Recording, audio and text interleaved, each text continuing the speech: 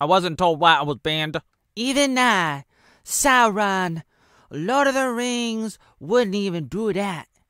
So they gave me not one, not two, but three emails within the, within with the, within the same minute. First email said I was banned. Second email said, just kidding. And uh, third email said, nah, you're banned, dude. Got these emails on a Tuesday. This was email number two. It said, you're not in violation. First email said, you're in violation. Second email said, you're not. Third email said, just kidding, yes, you are.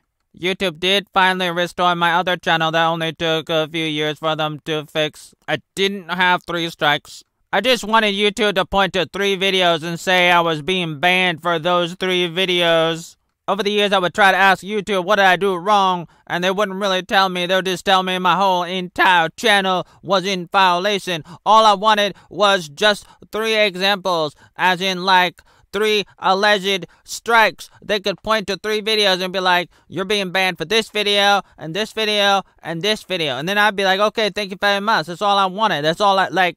That's all I could ask for. It's like just give me give me a reason, just just a little bit of a reason, and I try to ask them on email and and Twitter and you know anywhere I could, and most of the time YouTube is like they're like ghosting me, they're like ignoring me over the years. And I just wanted to download my videos via Google Takeout. I've made a big deal about censorship over the years because it's affected me since at least 2010 or longer online. I try to talk about it.